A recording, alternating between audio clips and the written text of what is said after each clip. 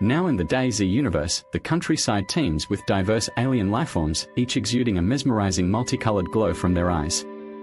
Among them are two master alien variants, distinguished by their formidable presence and commanding abilities.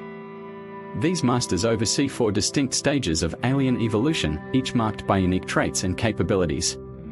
Surrounding their spaceship, loot materializes, offering valuable rewards to intrepid explorers. To facilitate seamless gameplay, users can easily configure settings via a comprehensive settings file, tailored to their preferences while maintaining a default setup inspired by Cherno. Event notifications are broadcasted to global chat, ensuring players stay informed and engaged. All aliens boast intricate custom skinning, complete with helmets, spines, bones, and meat, each featuring a distinctive visual aesthetic.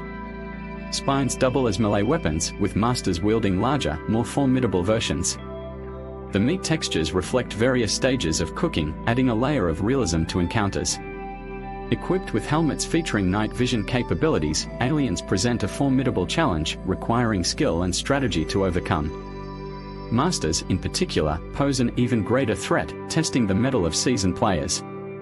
Expanded inventory sizes on aliens and masters enhance the gameplay experience, encouraging resource management and strategic decision-making.